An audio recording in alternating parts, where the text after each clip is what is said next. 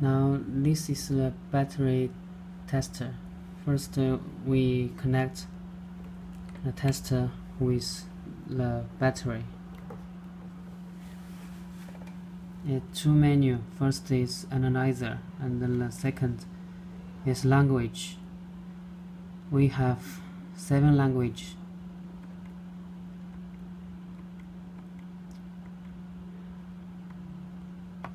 We choose English now.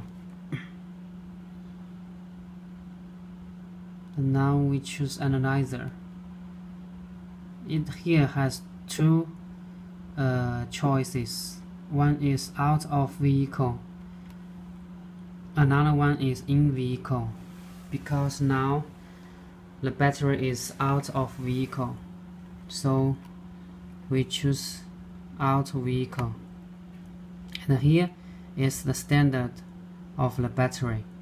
We have CCA, DIN, JIS, EN, IEC, GB, SAE, MCA, BCI, CA, and uh, every battery has the standard on the battery face.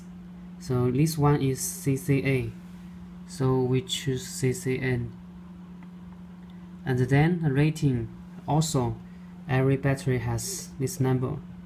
Here is 610 so we put this is for the reduce and the put this is for the high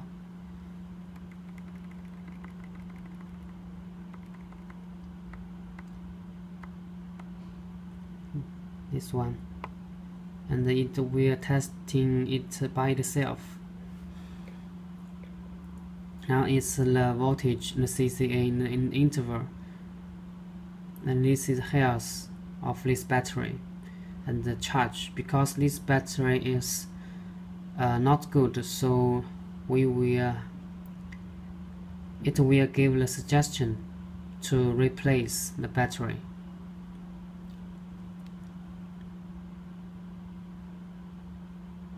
okay